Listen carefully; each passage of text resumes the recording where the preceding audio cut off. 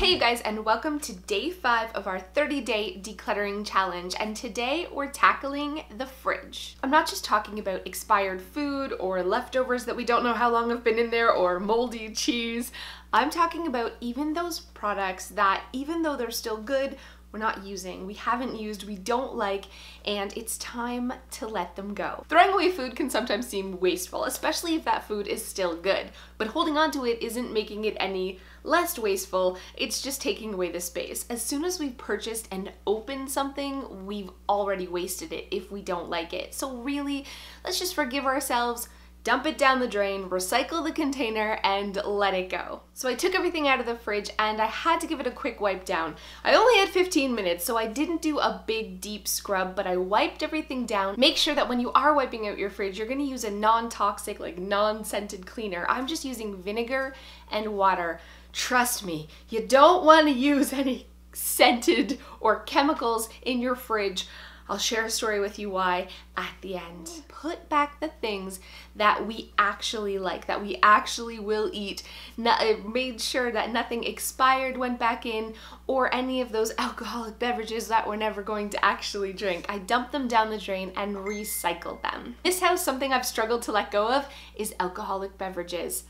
I don't even drink. But the thing is, we buy it when we have company coming over or we're having a party, and then my husband and I aren't gonna drink any of the leftovers, so I leave them in the fridge for years. We've had these like wine coolers and things in the fridge for years, and I just hold on to them. Like they're so old that I wouldn't even serve them to a guest now.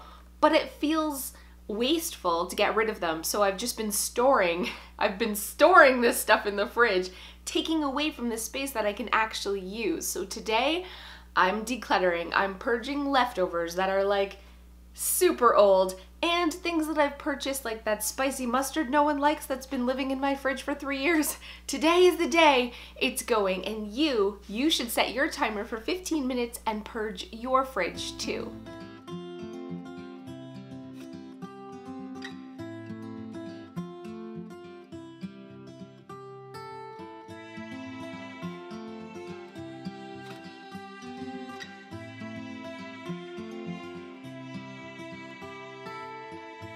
So what are you waiting for? Set your timer for 15 minutes and purge your fridge right now. So thank you guys so much for those of you who have stayed to the end. I do have more stories to share with you, embarrassing things that have happened to me, but there's only been maybe five or six in my lifetime. And I'm almost 40, which isn't bad. So I have, I think, one or two left. I've shared the most embarrassing things with you. So it's not like my whole life is just... Uh, a lot of a string of embarrassments. No, no, there's been a few, um, but I, uh, I'm almost done. But I wanted to bestow my wisdom to you today. I wanted to share an experience with you so that you could learn from my mistake and it's appropriate because it's about my fridge. When I was in my early 20s, Joe and I were dating about a year and I started getting like a little domesticated, you know, as you do when you fall in love. And I was trying to cook and it wasn't good. But um, anyway, so I was cooking more, so I had a lot of leftovers, which would go in the fridge to die, which is what leftovers still do in my house. And so there was things dripping and gross and smell and, you know, things molding, which for me was all new because I never really cooked up until this point. So I didn't know how to clean a fridge.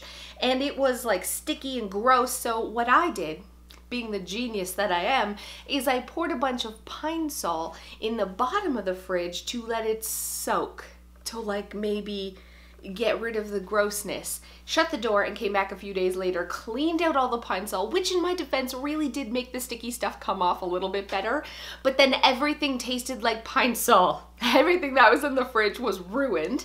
It smelled like Pine-Sol, it tasted like Pine-Sol, so I had to take all that food out. I rinsed this fridge so good. I can't even tell you how many times had to buy all new food over and over again because it continued to taste like Pine-Sol. If something got put in that fridge, it was gone. It was ruined forever. And so I moved because it was an apartment.